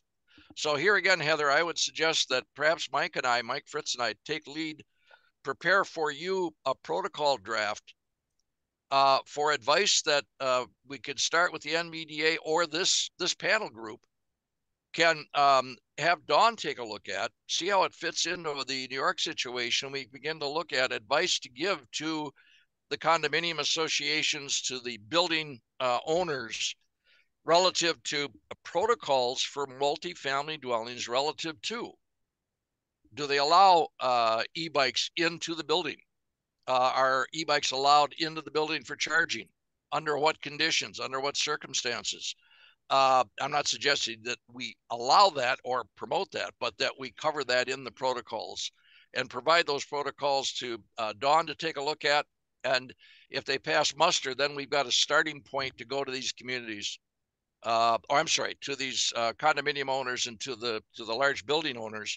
Uh, the objective here is not to have them banning uh, e-bikes, but to find a way we can accommodate them. So, uh, Mike, if you're up for it, when you get back from uh, from Asia, I think probably we the recommendation we put together a, a draft protocol for Heather to circulate to this group to look at, to add to, to adjust, to amend and then get it to Dawn for uh, her to take a look at to see if it uh, it's useful from the standpoint of the city of New York. Last item, uh, great conversation relative to uh, how do we get a mandatory regulation through? And I think without belaboring this point, uh, I heard again repeated uh, education, education, making sure we're educating. a mandatory reg at this point is going to take time and so we're going to need to fall back on what's already written, what's already available. Many people on the panel have already been a part of that. It's essentially two things. It's UL 2849 and UL 2271, if I've got that number correct for the for the battery. Um, I don't think you exclude either. I think this is a systems issue that's inclusive of the battery, and in turn, um, we as a group back to let's put together a position paper to be proactive. Uh, for those of us that were uh, present on July 27th at the CPSC headquarters for the testimony, at the end of the day, the chairman and or one of the sitting commissioners asked a question of the panel, panel that was on as to how much harmonization is there between the mandatory standards for mechanicals for bicycles in Europe and also for uh, the standards, both voluntary and mandatory, that exist for lithium ion battery systems and micromobility. The answer that came out, whether disputed or not, was 80%. So, in other words, like it or no, there's about 80% harmonization between what exists as up to date current standards for bicycles and up to date current standards, voluntary or otherwise, for uh, e bikes and for e bike batteries. So uh, I think uh, I liked I liked the comment about model legislation, George, um, and I think that's very much uh, uh, in to to benefit us is very much in the future. So we don't have time to write that, Heather, in the course of uh, the next uh, quarter, but I do think we could put together a proposal that goes to first the issues of what do we do in the meantime how do we put that letter together that George referred to? What is the model legislation we work with the whole industry to create, to put in place because there is at least 80% harmonization and uh, identify the key factors so that uh, all of the groups can come together and hopefully begin to put forward the general proposition that we can be proactive with a, perhaps uh, a voluntary industry standard that is inclusive of what's already in place and create that as a means of bridging the gap until we can see a mandatory federal reg in place. So that's my summary. Excellent, Jay. Thank you. And again, this is the first of uh, a quarterly opportunity that we'll have to get together. Um, before we move forward to adjourn today, I do know Dawn Miller has one other uh, item to address the panel with. So Dawn, I'll turn it over to you. Thank you. Um, I wanted to extend an invitation from the City of New York. Um, my, my colleagues, um, John Cassidy and, and Daniel Murray from the fire department are organizing a full day event in New York City on October 12th. Um, it will be a discussion um, between public safety experts, the insurance industry, and other stakeholders. I think this group would be um, amazing set of expertise to bring. The goals are to educate the insurance industry about um, the, the risks, um, to discuss how we can work together to reduce risks and incentivize and encourage um, safe practices um, when it comes to um, the sales and storage of electric micromobility devices. we'll have a registration website um, expected to be live by the end of the week. So maybe I can work with Heather to get that to all of you. Um, we would really value um, this group's expertise if anyone is able to join and and really provide um, that perspective in this in this conversation. Um, the insurance industry is going to be a big part in how this all goes down, and so I'm I'm really excited. My colleagues at the fire department are starting that conversation. Thank you, Dawn. We will make sure to work with you to circulate that. And thank you, Larry. I just saw the note in chat as well um, about the education uh, aids that People for Bikes released this week. Uh, yeah, thank you everyone for attending today, for the excellent questions, for everyone's opinions added to the conversation, and Jay for the summary. A recording of this forum will be available on our YouTube channel within 24 hours. Our next forum is set for Tuesday, December 12th, and we'll begin soliciting items for that agenda two weeks prior. We will work to publish a release summarizing the conversation today and some action items. Uh, reach out to me at any time with feedback, questions, um, heather at nbda.com. And let this be the first of positive change. And with this, I'll adjourn today. Thank you, every everyone, very much. Have a great afternoon. Thank you, Heather.